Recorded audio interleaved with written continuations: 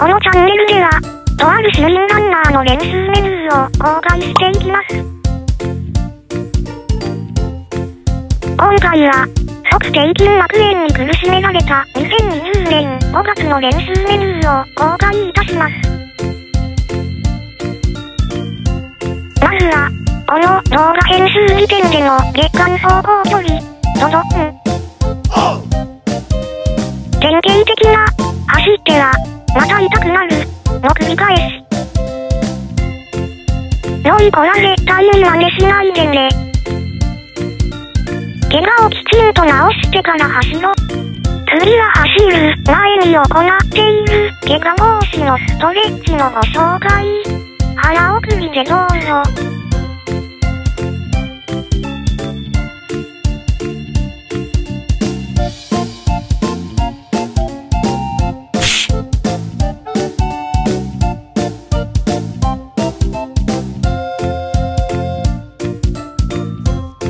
そして、ここから細かい練習メニューのご紹介。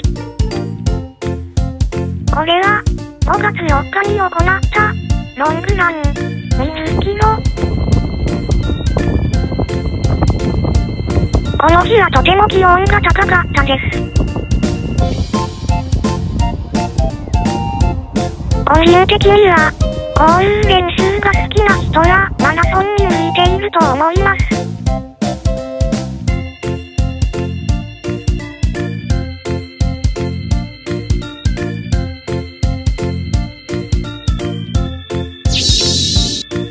この日は、某所で400インターバルに飛び入り参加。クリフトンについては、動画の概要欄で。雨の日のターダンって、クリフトン滑るんだね。余裕を持った設定ベースでの練習も大切。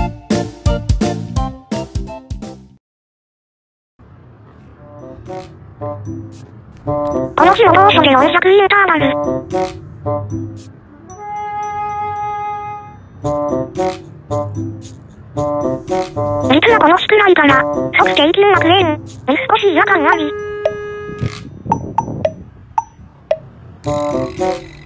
それでも、練習しちゃうのが、なんとも難しいところ。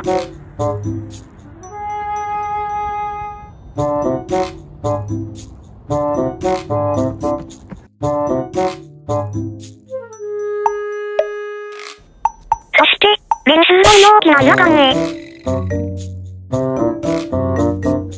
バーニュ君も調子悪ね。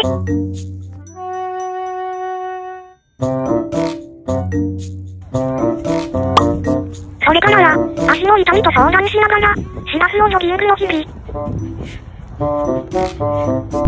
僕はしますと友達。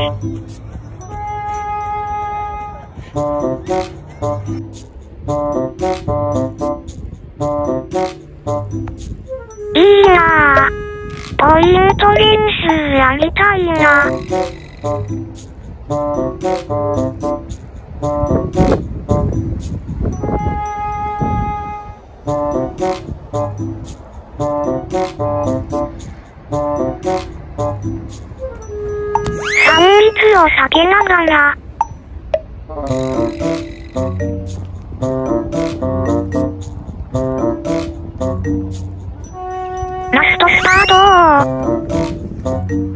ま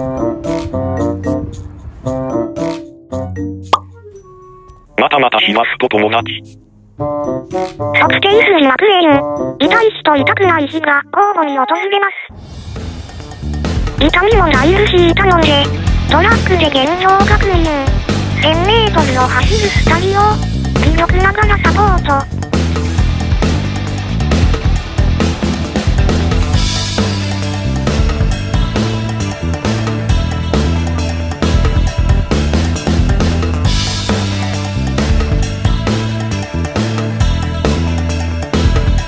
違和感が出たら、すぐに走るのをやめよう。即定筋膜炎は、筋肉を温めよう。即定筋膜炎は、測定だけでなく、ふくらはぎ、ハムストリングスの疲労が原因化可能性体、そちらもしっかりとケアしよう。治療院へ行こう。今回はコロナウイルスの関係で行くことができませんでしたが、行った方が確実に治癒は早いです。低金額、延期アンリルを主張しましょう。ためになります。